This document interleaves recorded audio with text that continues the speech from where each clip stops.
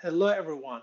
This time I'm jumping right into the tutorial because I have a lot to cover under five minutes. I wanted to get most out of your topography and how to do it very quickly, how to find a proper topography from online source, and how to build your curbs on the road. So let's start with finding a topo surface for free.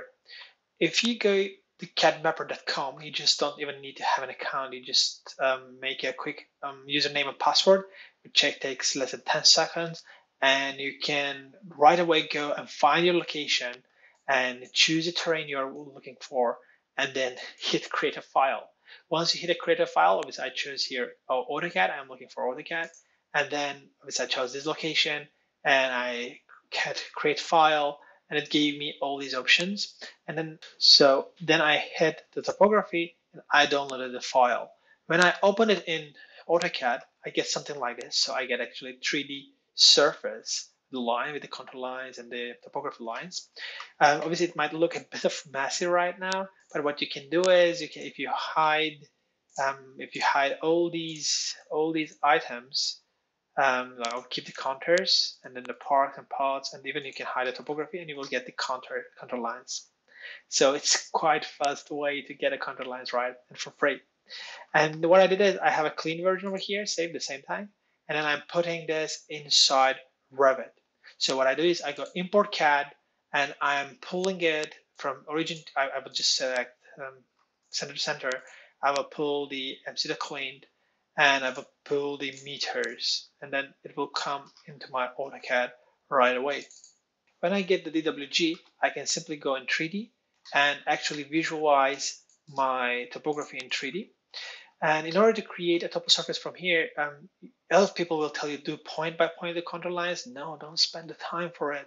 Instead, just go to massing inside, topo surface, create from the import, select the instance, select it, and select the contours only.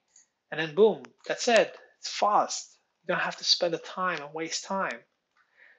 When you finish it, the next thing is I want to create some roads and I want to create some curbs. Other people will tell you use roofs. No way, don't use roofs or other items. Just make it in a proper way. So let's go um, to site and let's start drawing some annotation lines and detail lines here. And I will be just randomly doing like some not really great roads. I'm doing something random here. Maybe I will just do something a little bit more like this and then I will just go a bit more like this so it has kind of a path. Um, I am going to close this off so I can quickly sketch it and then pick the lines when I need. Always draw the detail lines of, uh, on a site plan so you can actually work with them uh, when you come to play with the topography, split surface, and so forth. I will go with a split surface. I select my topography, and then I will just click on the pick lines and I will go on one of the lines and click tab to select make the selection of the chain. And then I will just hit with the left mouse and finish. So my side is done. So I will just name it asphalt bitumen and then I will have a different color. Then I will go to the elevation. I will push it down about 100 millimeter. And now you can see there's a gap between my road and uh, topography. The next thing is I would like to create a curbs.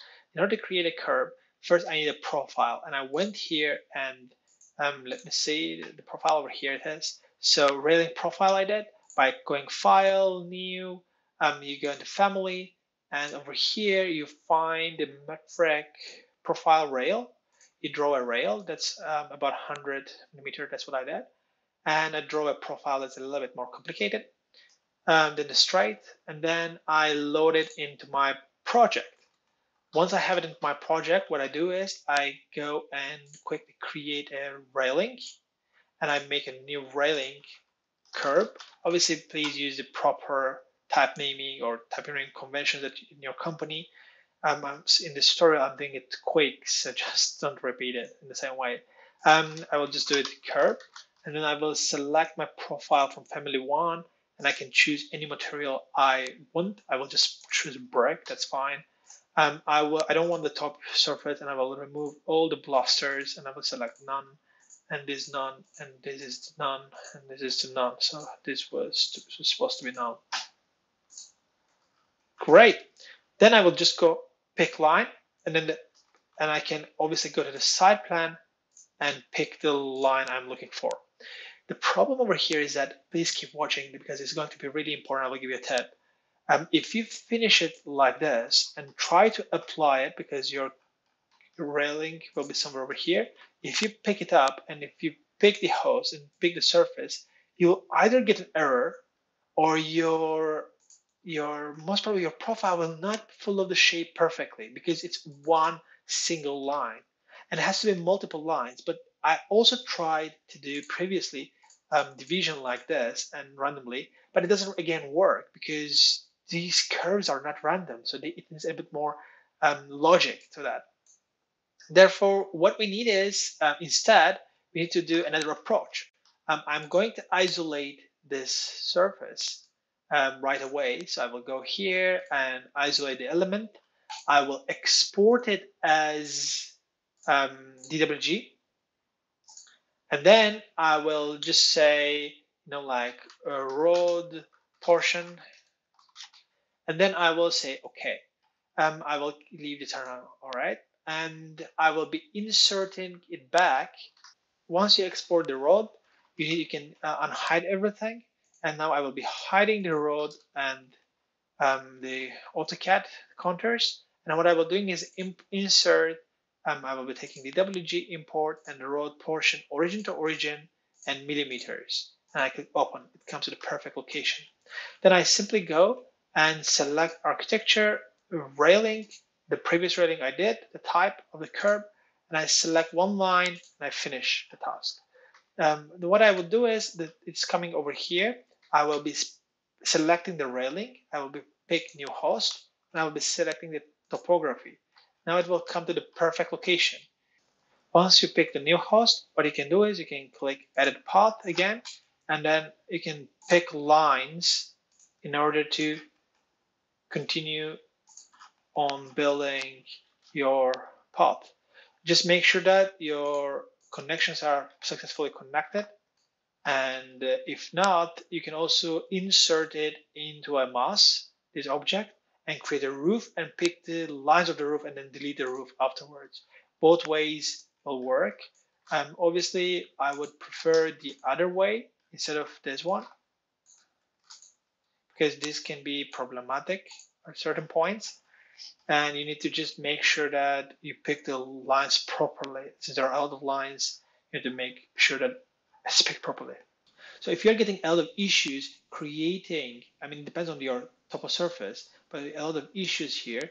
What you need to do is you need to simply um, delete this and then go create a massing inside and in place mass. And you need to insert into road, insert the item, the CAD into the mass and then finish it. You can go on to the um, massing inside and select roofs and then select all the items here and then create a roof from there.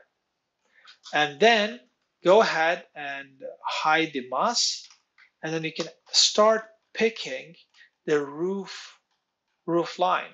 Then it, it will be much more accurate because you will not have a lot of CAD lines. It will be much more straightforward because Revit already generated the object for you. So um, this time it's safer and more straightforward. And when you finish, you will not have that kind of errors. So it's 100% accurate. Obviously, it depends, um, again, as I said, the complexity of the topography.